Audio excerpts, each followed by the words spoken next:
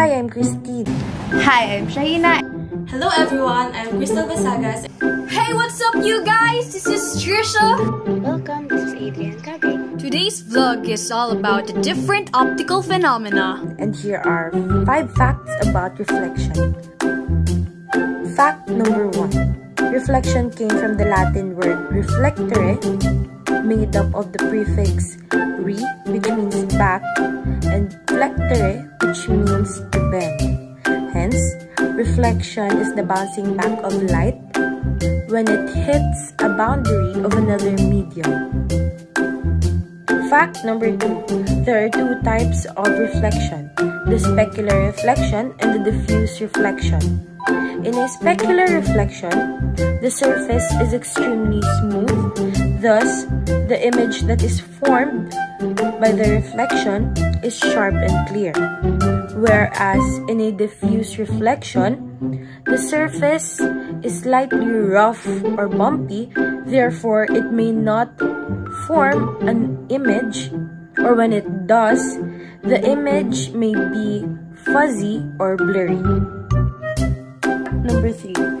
The law of reflection states that the angle at which the reflected rays leave the surface is equal to the angle at which the incident rays hit the surface. Fact number 4. A more interesting reflection is found in a concave mirror. When you look at yourself in it, your reflection will appear to be upside down.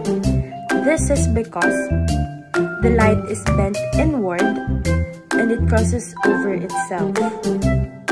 Fact number 5. The only way that we can see an object that does not emit light is when that object reflects light.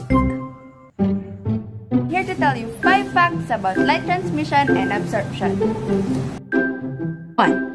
The color of the objects we see is determined by how those objects interact with light, and as a result, reflect and transmit it to our eyes. The color of the object is not actually contained within the object. The color, rather, is in the light that shines on it and eventually is transmitted into our eyes. Number 2. Light transmission happens when light passes through the medium without being reflected or being absorbed. Just like in transparent materials where light is not being absorbed, that is why light just passes through the medium. Number 3. Light absorption is a process where light is absorbed and is turned into energy. For example, grass appears green in white light. Red, orange, yellow, blue, indigo, and violet are being absorbed by the grass. Green light is reflected by the grass and it is detected by our eyes. Number 4. The thickness of materials affects the transmission and absorption of light. It's easier to transmit light in thinner materials and thicker materials absorbs light more. Number 5. This is how light transmission and absorption works. When you place a transparent object in front of the light, it only passes through and light is still visible. But when you place an opaque or thick object, it absorbs the light to the point that it can block it. 5 facts about mirage. First fact, the word mirage comes from the Latin word mirare which means to look at or to watch. Second fact, a mirage is a natural phenomenon that occurs when the light rays bend via refraction to produce displaced image of a distant object or the sky. Hmm, interesting, isn't it? Now let's proceed to our third fact. Did you know that everyone seems to believe that a mirage is just an illusion? But no, a mirage is not just an illusion, but an optical illusion that can be explained by the physics of the Earth's atmosphere. I wonder, can mirage be photographed? And that leads us to our fourth fact. Yes, a mirage can be photographed. It may be just an optical illusion, but it can be seen and photographed whenever the land is heated up and the air is cooler. And we are down to our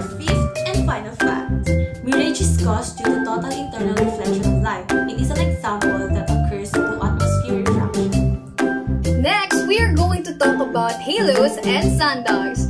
Here are the 5 facts. In the sky under the right condition, water droplets or ice crystal act as a prism in the sky. As light passes through the water or ice On high clouds, it is refracted 22 degrees from its original direction and creates halos and sundogs on the moon or sun. You know a halo is a ring of light that forms around the moon or sun? When the sun is seen at 20 degrees, a halo can be observed. Second, it is believed that hexagonal ice crystals with diameter of less than 20.5 micrometers are responsible for halos. Have you heard of a sundog?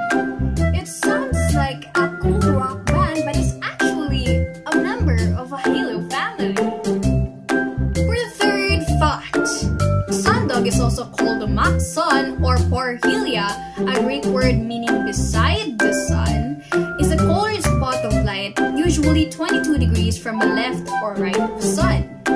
Sundogs are usually produced by plate crystals high in cirrus cloud. These drift and float gently downwards with their large hexagonal faces almost horizontal. Light is more refracted than red light. That is why blue light is seen at the outer edges of a sundogs.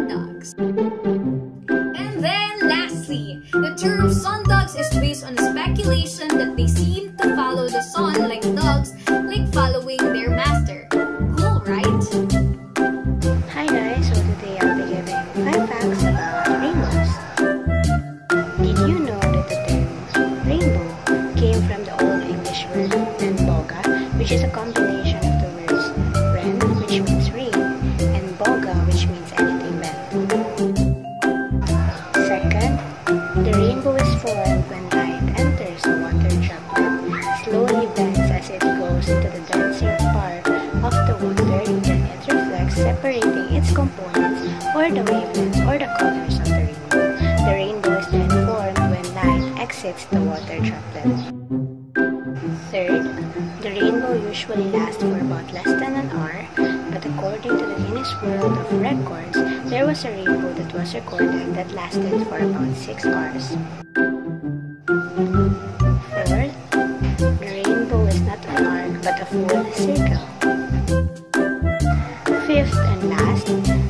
Double rainbows exist. Will be instances that create two rainbows at the same time, and it happens because of the second reflection that happens inside the water droplet, just like this one.